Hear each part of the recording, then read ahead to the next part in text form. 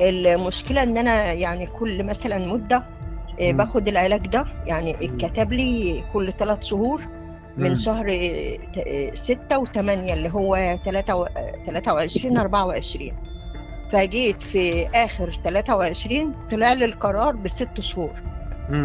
قرار علاج على فأخدت نفقة الدولة آه على. نفقة آه، على في التأمين آه في التأمين مم. الصحي اللي هو في المجزر في الفردوس. آه. فجيت بقى الدفعة اللي هي الستة اللي هي من حقي اللي المفروض هي تبقى موجودة لأن القرار طلع بست شهور. مم. والعلاج كان عندهم يعني. فالدكتورة اللي هناك قالت لي لا ما مش موجود. طب نعمل إيه؟ قالت رو- روحي للتموين الصحي في العباسي. فهو يعني أنا ده حقي. وطالع مش لسه مثلا قرار هيطلع لا ده طالع بست شهور. خدت خمسة ولسه له شهر.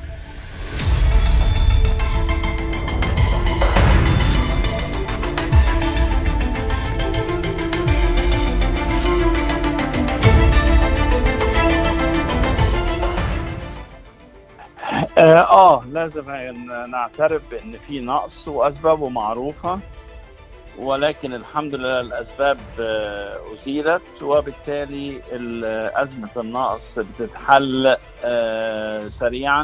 إن شاء الله في خلال شهر 8 وشهر 9 هتكون الأزمة محلولة تماما. مش بس أدوية السرطان في أدوية كتير الحقيقة فيها نقص. نتيجة طبعا ال 14 شهر اللي كان فيهم آه، شح في الدولار في البلد.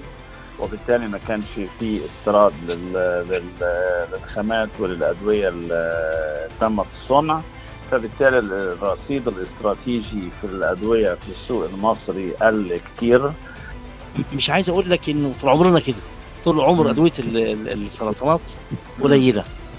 إنما المشكلة هنا النهارده آه، يعني مشكلة زادت عن حدها شوية آه، متماشية مع ال- ال- الجو العام.